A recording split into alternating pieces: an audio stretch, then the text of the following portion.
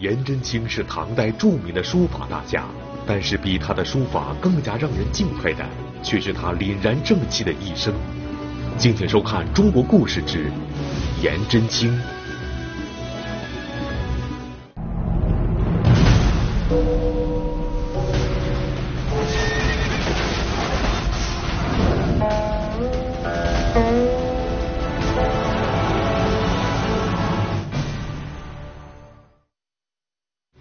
颜真卿是唐代著名的书法大家，在中国历史上可谓家喻户晓。他的楷书笔力遒劲而气概凛然，人称颜体。唐以后的文人墨客大都把颜体看作是书法的正宗，可以说是书法让颜真卿名动天下。但除了书法之外，颜真卿在激荡着血与火的安史之乱的大变局中。他的精忠报国与浩然正气，更是让人肃然起敬。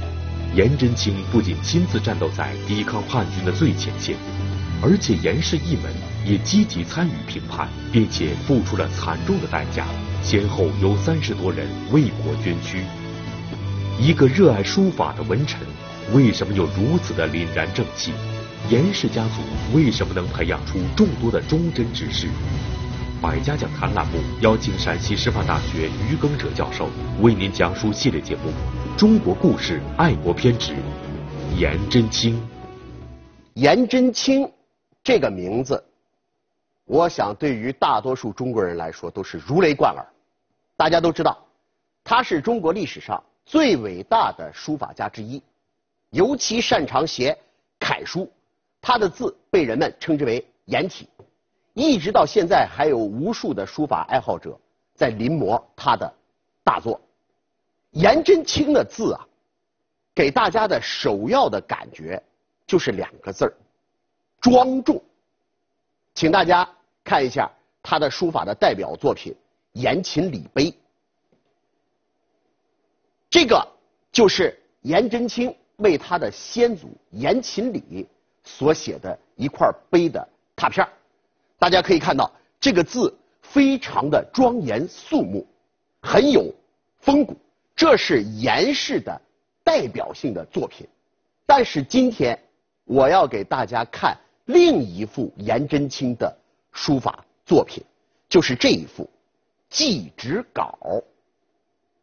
大家看一下，这是一个传世的颜真卿的这个作品，上面。盖满了历代收藏家的这个鉴赏印章，现藏台北故宫博物院。这幅书法作品特别就特别在这儿，你看它笔走龙蛇。我们发现里边作者已经按耐不住自己内心的那种激动，你可以感觉到他那种悲愤之情跃然纸上，应该说真情啊，毫不加以任何的这个掩饰。可谓字字泣血，触目惊心。这篇稿子写的是什么？这里边是祭祀他自己的一个侄儿，名字叫做严继明。严继明生前曾经积极的抵抗安禄山的叛军，担负着平原和常山两个郡之间的联络的重任，往来穿梭于战场之上。后来他牺牲了。颜真卿去寻找他的遗骸，结果只找到了头颅。颜真卿亲手将其安葬，然后在悲愤之余，挥笔写下了《祭侄稿》。而这篇《祭侄稿》宝贵就宝贵在毫不加以任何的掩饰，没有任何的修饰，所以说反倒让他成了一个书法精品，号称叫做天下行书第二。不过。今天咱们要讲的可不是颜真卿的书法，咱们今天要讲的是颜真卿乃至整个颜氏家族的满门忠烈。他为什么能有这样的爱国的举动？他有怎么样的壮烈的人生？这是今天我们要讲的主要的内容。他的事迹非常多。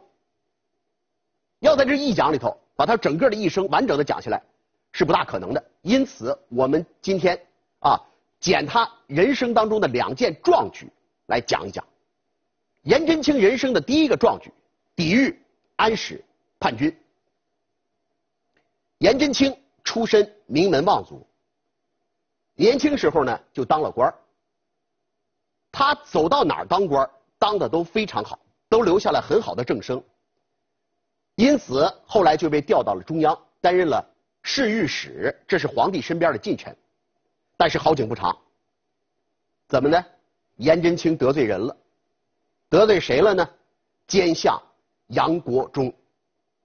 杨国忠这个家伙是一个奸命小人，颜真卿呢一身正气，跟他很不对付，所以这个杨国忠啊就在唐玄宗面前进谗言，结果唐玄宗任命颜真卿为平原郡太守，这等于啊是把他贬到外边去了。颜真卿来到平原郡的这个时候是天宝末年，这个时候国家的一个巨大的危机正在酝酿当中。怎么回事呢？就是河北地区的那个三道节度使安禄山，他想谋反，而且他的这个阴谋可以说是司马昭之心，路人皆知。就一个唐玄宗还被蒙在鼓里边。颜真卿来到这儿之后，观察了一下形势，觉得如果安禄山要反的话，平原郡距离他这么近，肯定会成为前线，所以他要整顿军备。可是呢，你这事儿啊，还得瞒着安禄山，为啥呢？以当时安禄山的地位而言，要想整死一个颜真卿，那可是小菜一碟，所以颜真卿要秘密的进行这件事儿。他借口说天降阴雨，平原郡的城墙有所损坏，所以呢调集民夫来加固城墙，并且悄悄的积蓄粮草，而且呢他还装作一副若无其事的样子，整日和部下泛舟池上饮酒高歌，吟诗作赋。你还别说，你还别说，这安禄山呐，还真的派人呐。跑到平原郡来秘密侦查了一下，结果来了之后发现，这个颜真卿一副吊儿郎当的样子，于是回去就做了报告。安禄山觉得这一介书生不足为虑，结果果然过不了多久，安禄山举兵反叛，鱼羊皮鼓动地来啊，天下大乱。颜真卿这个时候呢，就开始招募人马，而且他派遣使者。向唐玄宗报告说：“说我准备在敌后举兵起事。”唐玄宗听了之后啊，很高兴。怎么回事呢？这个安禄山这个叛军刚一起来的时候，河北地区二十四郡几乎是一夜之间不战而降。结果这个唐玄宗使个劲儿慨慨叹，说这个河北啊一个忠臣都没有。所以接到颜真卿的报告之后，他特别的高兴。他当时说了这么一番话，他说：“朕。”不识颜真卿形状何如，所为得如此？意思是说，哎呀，我不知道颜真卿是个什么样的人，他怎么能做出如此勇壮的行为呢？问题就出在这儿了。我得问您一句，颜真卿当过侍御史，在你身边工作过，贬到外边去当太守也是你给贬的，怎么你就不认识颜真卿是什么样的人了呢？宋代的何伟对此。专门加以过一句评论，大家来看看。他说：“夫小大一个颜真卿，自不知姓名，不知平日勾当甚事，乃知明皇本无心治天下也。”这句话说的太好了啊！这么大一颜真卿，这么一个忠贞之士，你就不认识，说明你平常啊根本就无心打理朝政。那是啊，晚年的唐玄宗。那不比早年的唐玄宗，早年间唐玄宗那是一代英主，晚年的唐玄宗真的很昏聩，什么事儿都不走心，所以才能有这么一句话。颜真卿这个正在筹集人马的时候，发生了一件事儿怎么呢？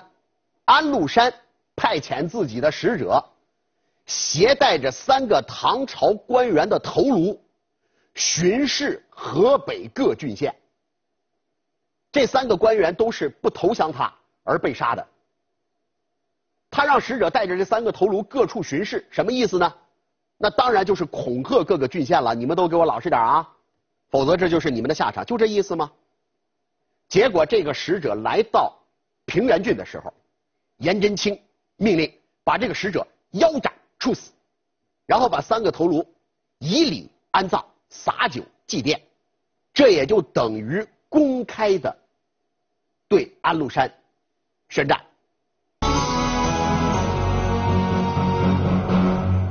颜真卿在安禄山的后方起兵，可以说是在安禄山势力最为强大的地方竖起了一面抵抗叛军的大旗。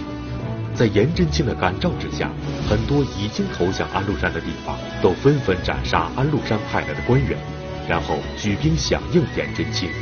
当颜真卿听说自己的一位兄长也举兵起事的时候，更是欣喜若狂。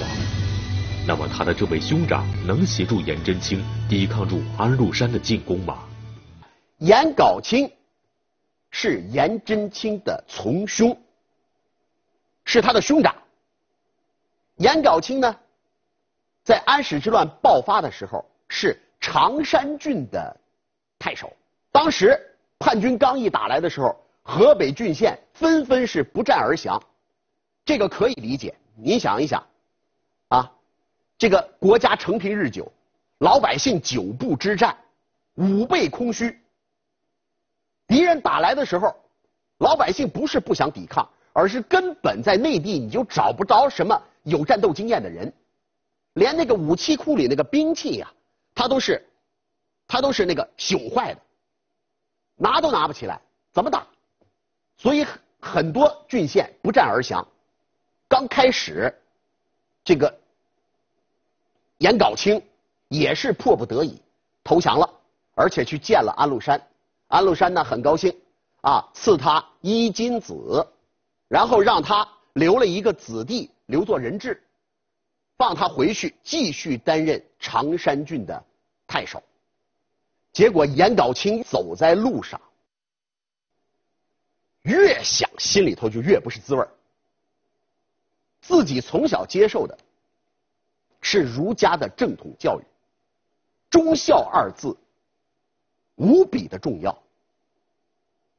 可是自己却现现在呢，却投降了敌人，违背了自己的人生信条。那你说我还是个人吗？我，因此，颜杲卿越走，心情越沉重，一路无语。他有一个手下叫袁吕谦。跟在他背后也是一路无语。忽然之间，他转过身来，指着自己身上穿的那件衣服，对袁礼谦说了这样一句话：“何为住此？咱们干嘛要穿这样一身衣服？”您别看这句话很简单，这意思可就大了去了，饱含着自责，同时又暗示着。我要反，我要反安禄山。这个袁吕谦也是一个忠贞之士，两个人可谓是一拍即合，所以袁吕谦立刻就开始和颜杲卿之间商量，怎么样趁敌人不备打他们一个措手不及。这个时候，安禄山派遣的自己的将领已经到了常山郡，颜杲卿呢秘密啊布置人手。趁敌人不备，将两个敌人的高级将领杀死，擒获了其中一个人，然后正式的举兵反抗安禄山。当他反抗的这个消息传来的时候，河北地区的人民是欢欣鼓舞，尤其是颜颜杲卿还四处发布檄文，说啊，国家已经派遣了二十万大兵，不日即将来到河北，敌人的灭亡已经是指日。可待，而且呢，他还啊带领大家共同推举颜真卿为义军的盟主。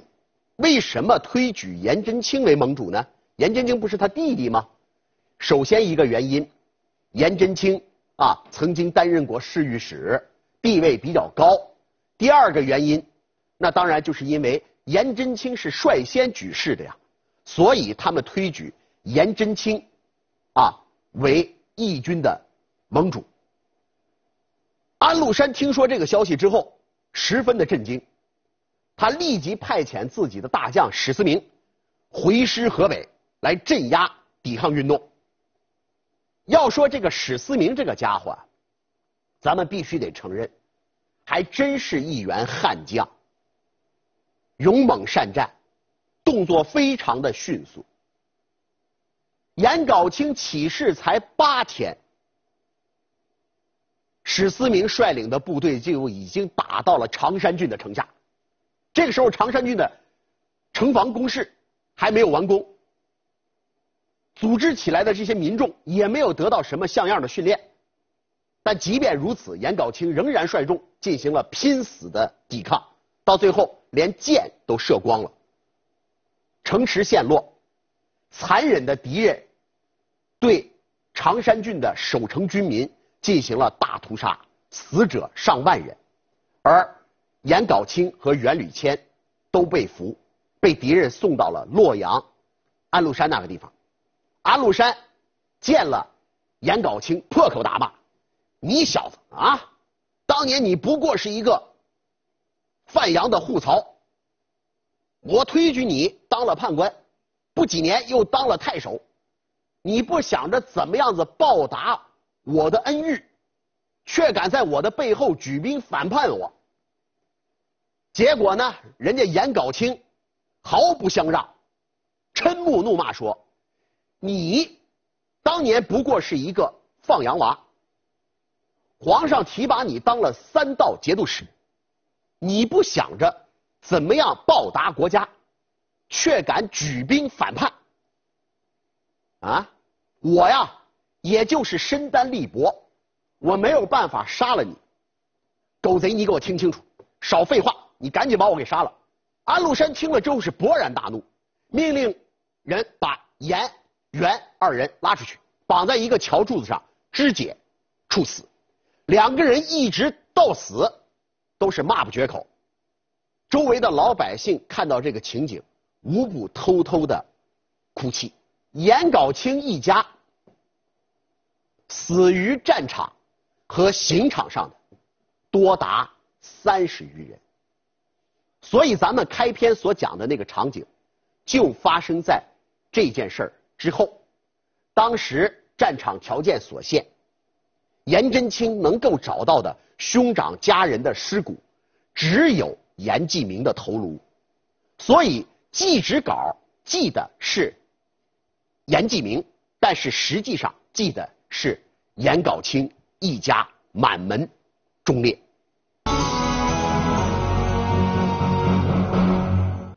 在安禄山叛军势力最盛、气焰最为嚣张的时候，颜真卿、颜杲卿兄弟二人为什么能够不顾自己的安危，不约而同的选择抵抗叛军？颜氏一门究竟有怎样的家风？而颜真卿在颜杲卿牺牲之后，率领义军继续抵抗安禄山的叛军。他们起到了怎样的作用呢？颜氏乃是中古之名门望族，他们家杰出人才辈出，其中包括南北朝时期的名士颜之推，也包括唐初的大儒颜师古。而且作为一个大家族来说，严家特别重视门风礼法的建设，比方说颜之推。他就曾经写过一部著名的书，叫做《颜氏家训》，就是我手头的这本书《颜氏家训》。这本这本家训是中国历史上最著名的家训之一。这里边上到忠孝，下到生活细节，无不谆谆教诲。你要知道。此书名曰家训，不是简单的写给颜之推的儿子看的，而是要用来教育颜家一代又一代的后人的。这里边讲的就是做人的大道理。所以颜家历代就是在这样的一本书的激励之下成长起来的。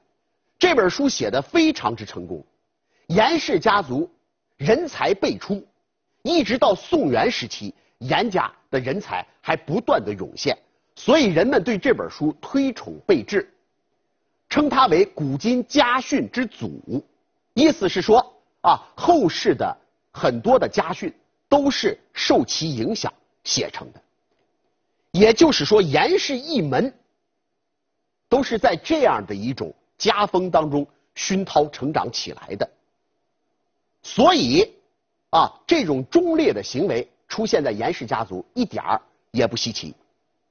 在这里，我们特别要对颜真卿的母亲殷氏表达敬意。为什么呢？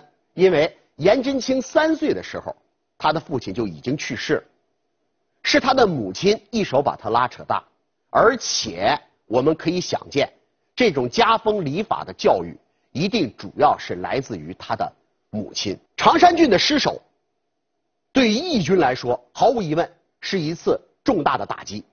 颜真卿此时最需要做的是提振士气。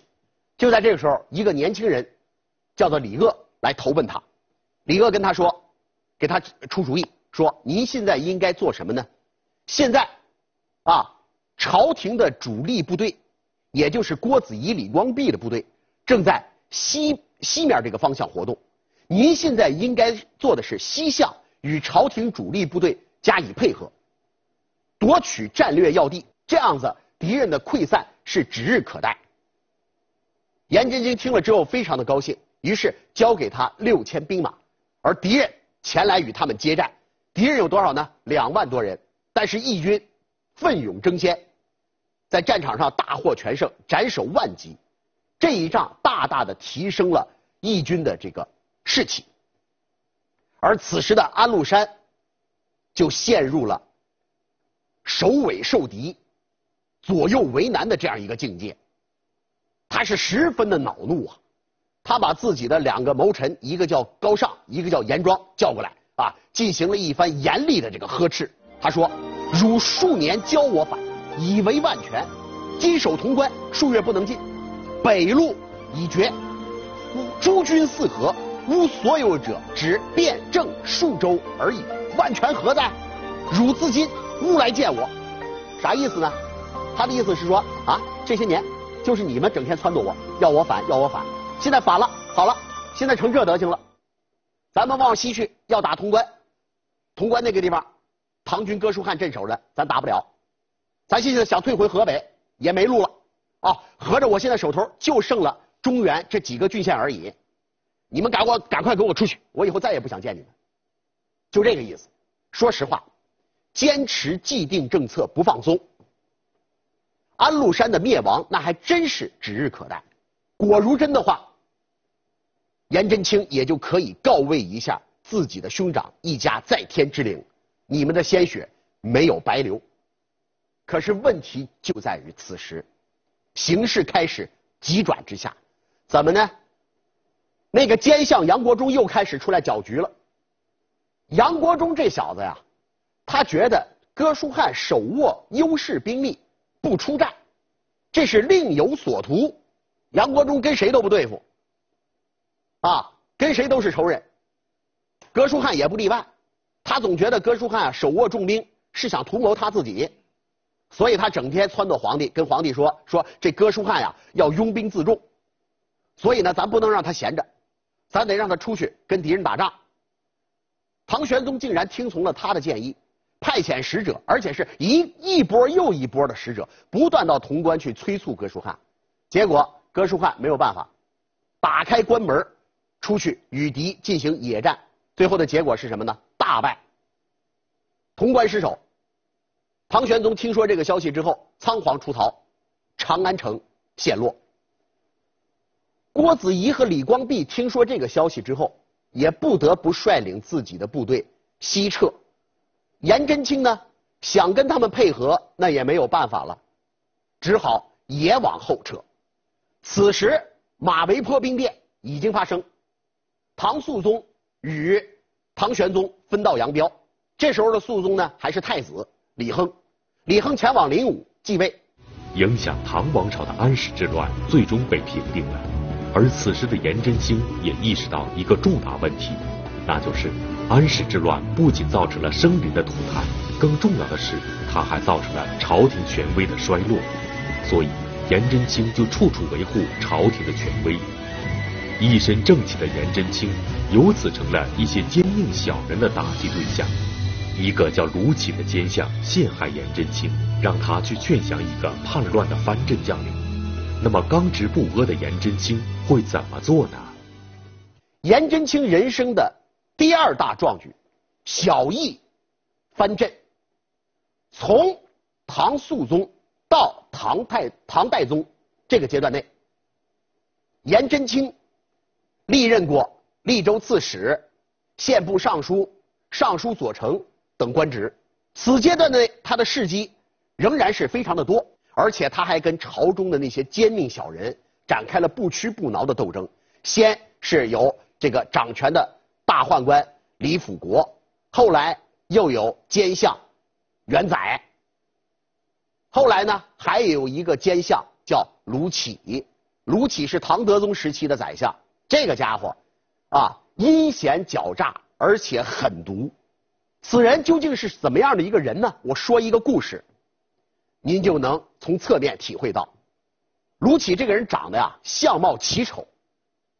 有一天，他要去郭子仪的府上去拜访。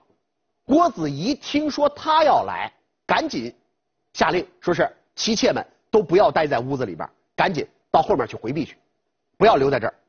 有人就问为什么呀？郭子仪是这样回答的：“他说卢杞这个人呐，啊，这个人阴险狠辣，而且相貌极丑，女人们爱笑，看了他那丑样子，难免要发笑。而卢杞心胸狭窄，他一定会记仇，他日得志，那我们郭家就完了。您瞧瞧，您瞧瞧，卢杞是个什么样的人？您听听郭子仪是怎么评价的，您就知道了。”卢杞跟颜真卿，那颜真卿一身正气啊，那肯定跟他不对付呀。他跟颜真卿之间就有很深的矛盾，总想着整颜真卿。有一次，他笑着问颜真卿，说是这个最近呢，我们打算派您出去独当一面，您看您去哪里合适啊？啥意思呀？那就想把颜真卿贬到外边去当官呗，贬出京城嘛？颜真卿是这样回答的。他说：“我呀，我这一生啊，受人排挤，到外边去当官啊，也不是一回两回了。本来也没啥，只是我现在年纪很大了，没想到您还是不能相容。当年御史中丞的头颅送到平原郡的时候，我对忠诚无比的仰慕，他脸上的血我都不敢用布去擦。”是用舌头舔干的，没想到今天您这样对我，这话啥意思啊？御史中丞谁呀？这位御史中丞名字叫卢毅，他是卢杞的父亲。可是跟他这个儿子不一样，卢毅是一个忠贞之士。当年洛阳陷落的时候，叛军抓住他，卢毅骂不绝口，拒不投降，最后被安禄山。给杀害了，还记得咱们讲的吗？安禄山派了使者，携带着三个唐朝官员的头颅巡视河北诸郡，这其中就包括卢毅的头颅。那颜真卿说这话啥意思呀？那实际上就是有一层意思没给你点破。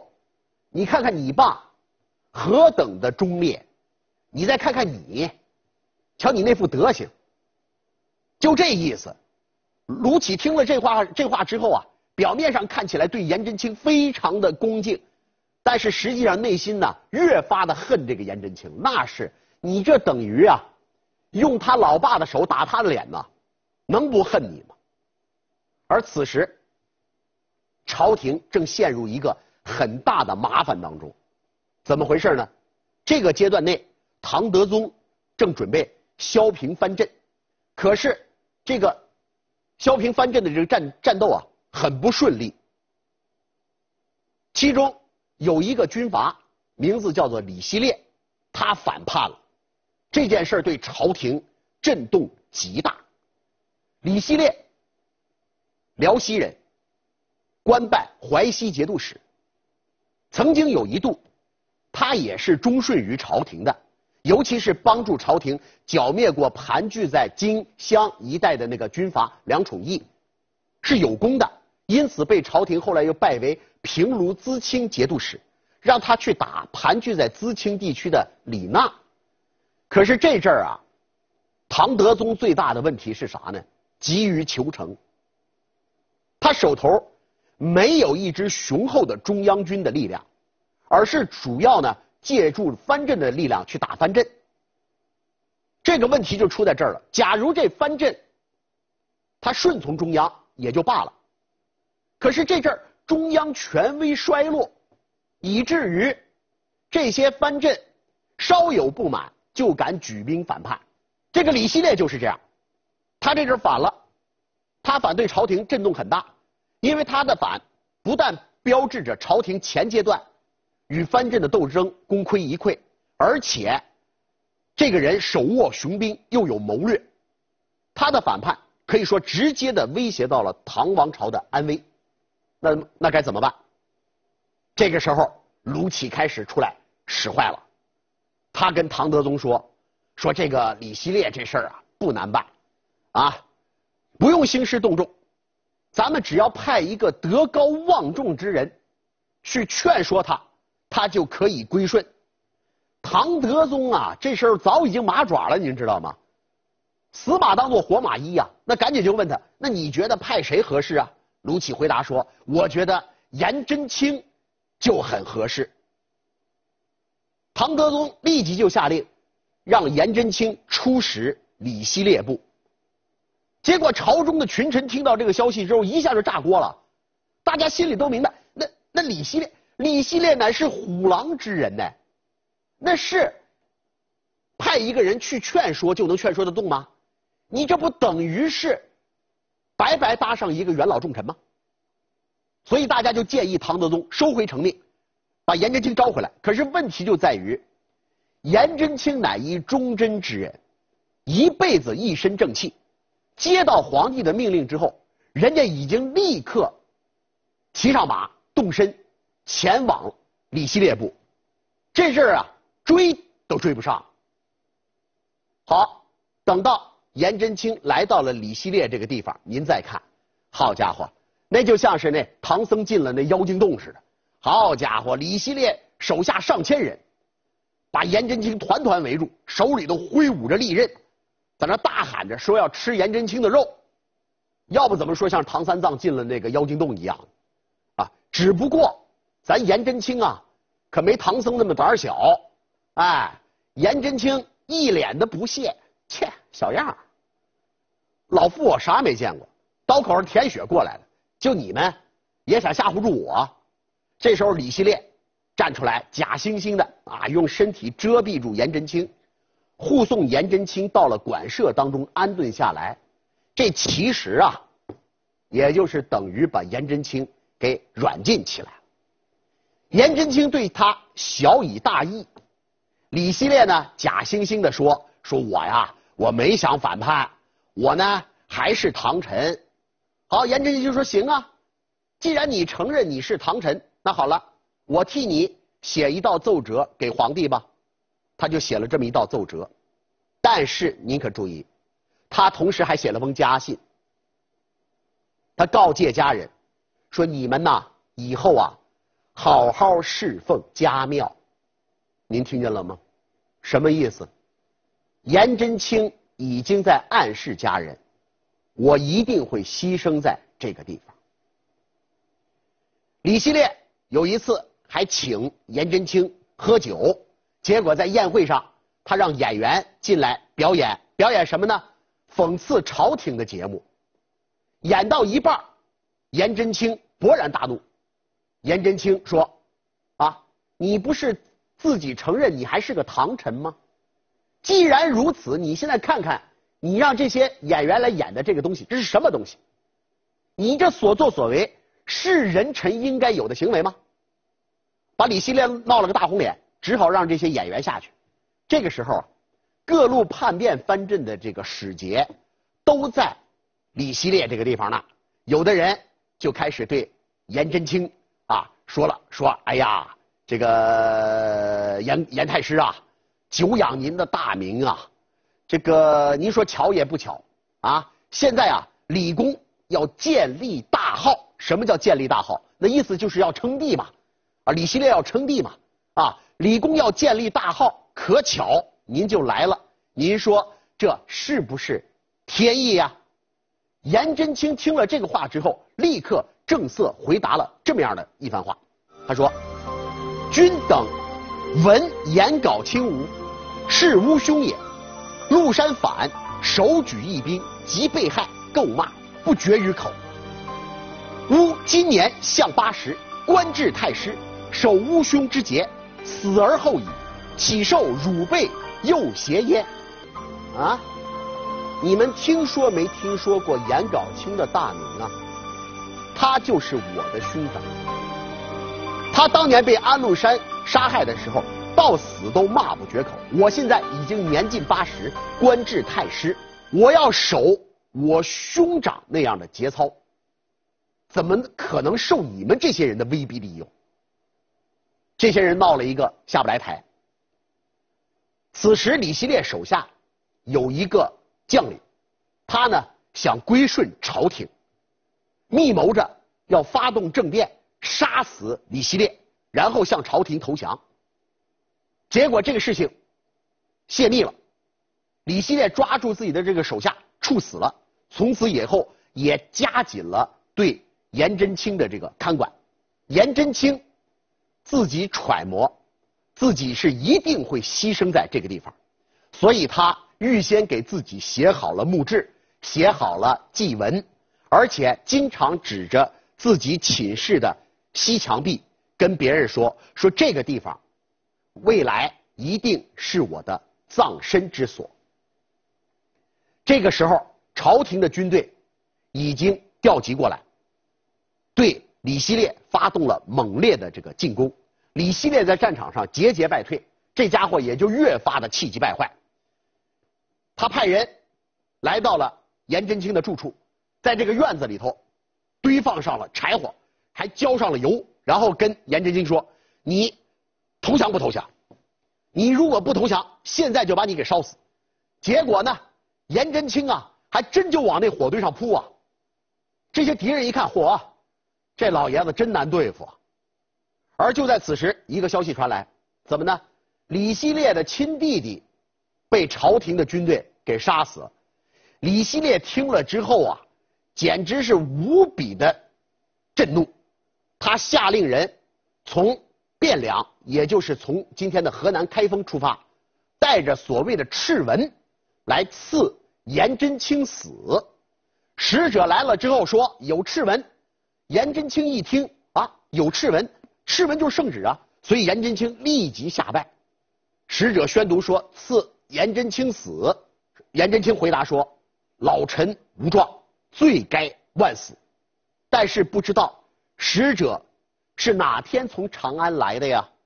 使者回答说：“我不是从长安来的，我是从大梁来的。”颜真卿听了之后，立即站起来，破口大骂，说：“乃逆贼耳，何赤也？原来是从逆贼那儿来的，还敢说什么赤，是吧？所以说是骂不绝口。而敌人扑了上去，勒死了颜真卿。颜真卿享年。七十七岁，